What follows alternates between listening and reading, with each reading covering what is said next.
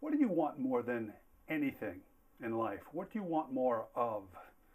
Today's combination inspirational quotes video and personal development training video will discuss the number one key you and I need to live our most fulfilling life of great meaning and personal success and professional success. You know, one of my favorite inspirational quotes comes from the 14th century Frenchman Michel de Montaigne. De Montaigne said, The soul, which has no fixed purpose in life, is lost. To be everywhere is to be nowhere. Absolutely. The soul, which has no fixed purpose, is indeed lost. The human soul, your soul and mine, longs for purpose. We long to grow, contribute, live large, and to matter. We long for depth of meaning in relationships and in life. And indeed, as de Montaigne said, to be everywhere is to be nowhere. To live our lives fully and deeply requires us to choose a purpose. Yes, it is a choice. Stick around for the rest of this video and for the next video, which will come out next week, and I'll give you a simple exercise that you can use to find create, or clarify and energize your purpose. So perhaps you are already deeply synchronized with your purpose. If so, awesome. You'll still benefit from these two videos. So stay with me, please. Okay, today I have a personal story I'm going to share with you to make the point of the importance and the choice in purpose. I began life having any natural self confidence, self esteem, direction, or purpose I might have had being totally crushed. Yet I've gone on to create and feel great purpose and meaning in my life, as well as considerable self confidence and self esteem. If I can do this, anyone can, and you'll see what I mean after I tell you my story. My story begins when I was 18. Remember? It was late spring of my high school senior year, about a month before graduation, maybe two months.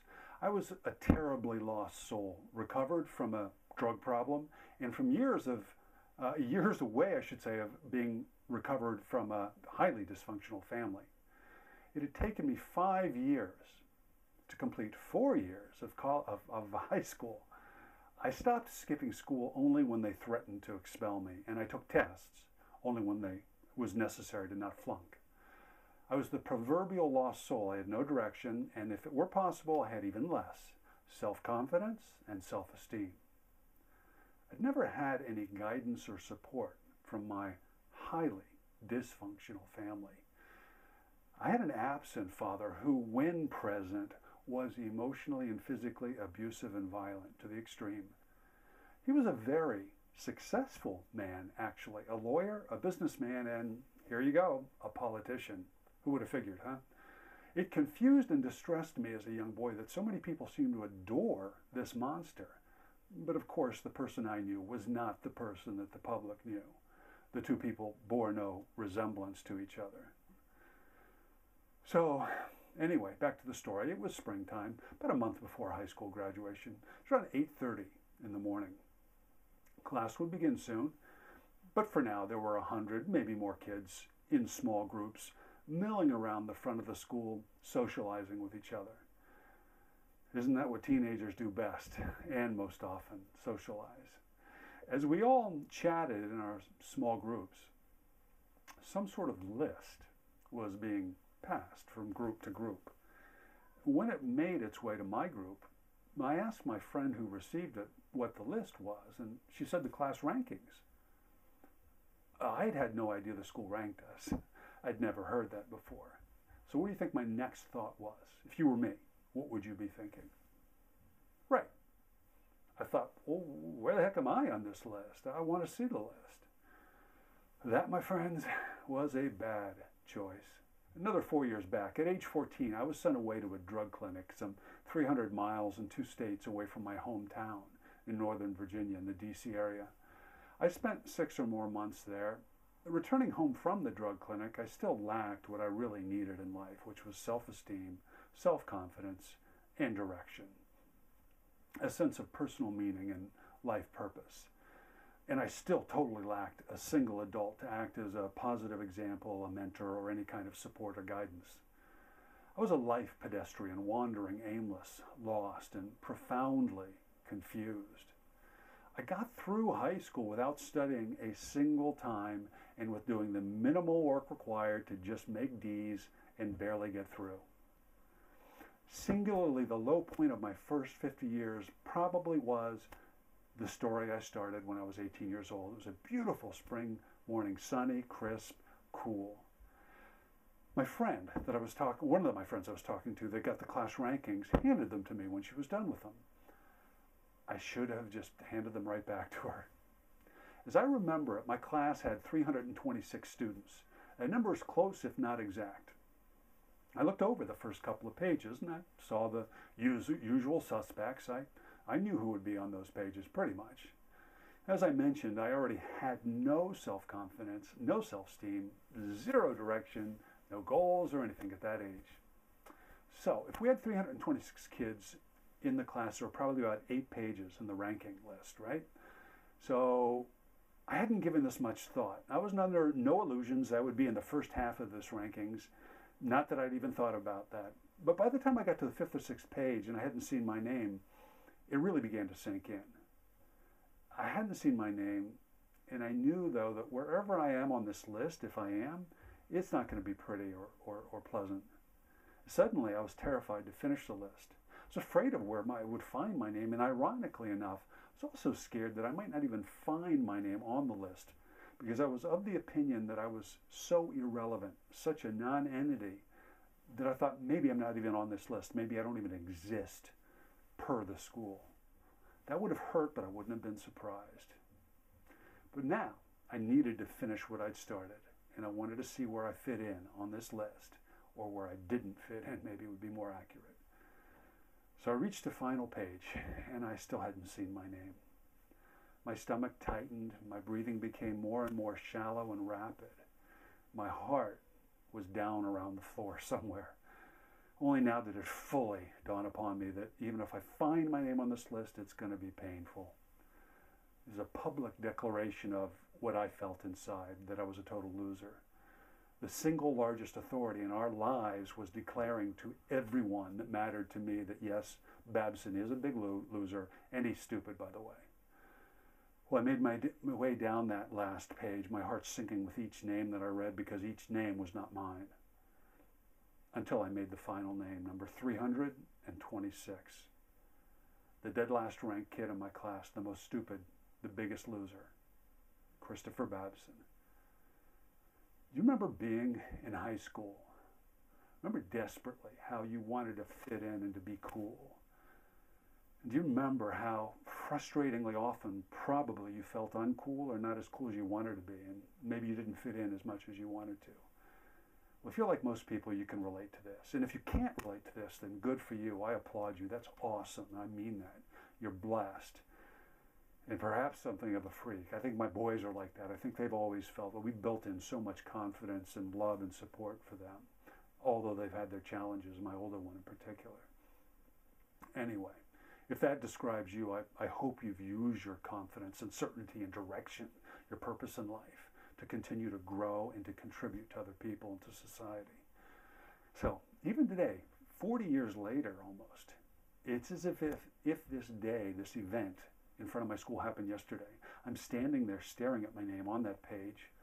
A hundred or more kids around me in small groups in my peripheral vision, and I'm frozen staring at this paper. My imagination, each and every other kid has stopped what they're doing. They're all staring at me, laughing at me. They know what I'm looking at.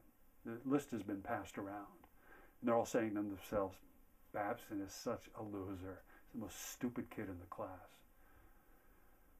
Of course, my ranking had nothing to do with my intelligence and everything to do with my lack of self esteem and my direction or lack of direction at that point in my life. My total lack of recognizing any kind of purpose, having any confidence. But my teenage mind couldn't conceptualize that. It wasn't mature or experienced enough to know that. To my young mind, the single largest authority in my world, my school, had publicly declared that I was a massive, hopeless stupid loser. I was devastated, humiliated, like I've never been before or since.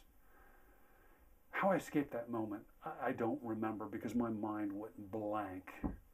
I somehow got the heck out of there. I skipped school that day. I skipped school the next day. I don't know when I went back, but I did go back. And I did graduate. Uh, a month or two later, when graduation was, I graduated dead last, 326th. You know, in my 20s, my early 20s, I found direction and purpose in my career as an actor. But the gnawing feeling of being stupid stayed with me. I longed to be intelligent. I longed to be educated. In my naive mind at that age, I equated traditional education with intelligence. So I longed to get a college degree, but was terrified. I knew I was too stupid to do it. But at the age of 29 or 30, I scratched that itch. I left acting and went to a junior college to work towards a four year bachelor's degree to, to get into a four year school with the idea of wanting to go to graduate school. I worked very hard and I struggled a lot at first. But I went to two top 20 schools. I got my, uh, my BA at UCLA and my MBA at Purdue University. After which I became a Fortune 20 vice president in, of all things, corporate finance, banking, and in business development. And I left the corporate world and started my first company, Billing Management Group, which I sold a few years later. You know, it took me 50 years to get to where I am now, to find who I was, who I've always been and meant to be. But I had to go through a lot of learning, a lot of trial, a lot of pain in life. But I know my mission and my purpose, and they are to reach out to others and to help others actualize themselves personally and professionally, leading themselves and leading other people to exceptional experiences, behaviors, and results in their lives, personally and professionally. So let's come full circle back to the beginning of the video. You'll remember the premise of the video is the quote, the soul with no fixed purpose in life is lost. To be everywhere is to be nowhere.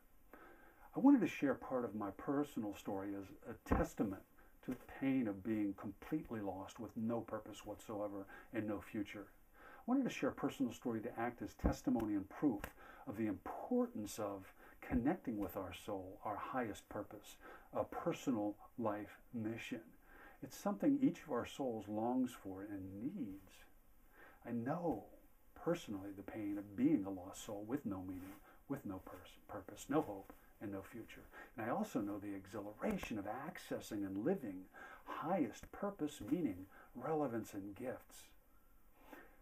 Wherever you personally are on this continuum of personal mission, purpose, fulfillment, and success, I encourage you to be who you were born to be. Don't be afraid of it. Don't feel that it's too early or too late, that you're too young or too, too old or too smart or not smart enough. Begin now. I'm an extreme example, I think. I'm pretty sure, based on the other people I've met in life. And if I can do it, you can do it. And know that there will be dark days, days when you're convinced you have or you will fail. Remember, we only fail if we fail to begin or fail to continue. And once you have begun, you can only fail if you quit. So getting the results you don't want is not failure unless you use them as an excuse to quit. Accept that there are dark days. There are for all of us. Use these dark days as tools to forge the metal of your determination and your character. Use them to develop your heart, mind, and to stimulate the resolve in your soul. It's your life, your one chance. Live your passion, your purpose. Develop, exercise, and share your gifts. Make a difference for yourself and others. Grow personally and contribute each and every day. Grow just a little bit each day, by the way. Don't expect too much from yourself each day. Be a little better, a little wiser, a little deeper, more productive, and a little more giving each day. Don't expect massive change overnight. But if you do this, the accumulated effect over the course of your life and over the next 10, 20, 50, or 100 years is going to be a brilliant life of unimaginable success and contribution. Well, that's it. The next video next week is going to provide an exercise that will help you either access, find access, and live your purpose or your mission or uh, greater meaning in your life, or even if you are totally connected and synchronized with yours already, the exercise will still help you to clarify, get closer to it, and energize it each and every day. Live, love, and succeed with passion, purpose, and positive personal power, my friends.